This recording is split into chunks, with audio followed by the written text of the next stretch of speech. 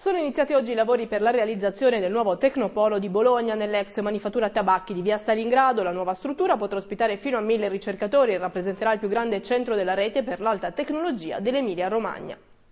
I lavori che cominciano oggi, noi contiamo che entro il 2013 tutto deve essere concluso.